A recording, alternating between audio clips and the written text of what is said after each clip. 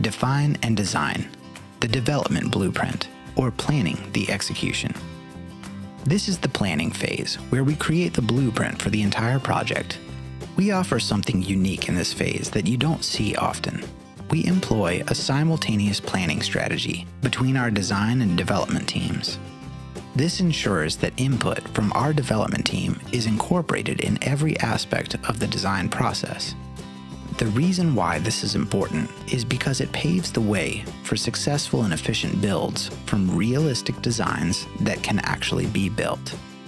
Many creative agencies will present you with a beautiful site concept, only to find that the functionality hasn't been thought through and the whole project has to go back to the drawing board. With our unique strategy, we ensure beautiful designs with a thoughtful approach to functionality so that we never have to go back to the drawing board once development starts.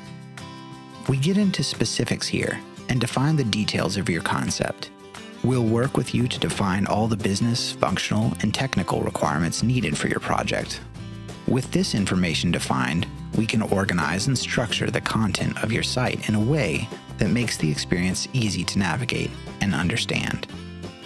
A new sitemap will be created along with some detailed wireframes, so you can really begin to visualize it. We'll walk you through the content planning and find out if copywriting is needed. We'll walk through crucial considerations, such as taxonomy and governance, to ensure future usability and excellent searchability. And we'll walk through your needs for, or pre existing, creative design and style guides.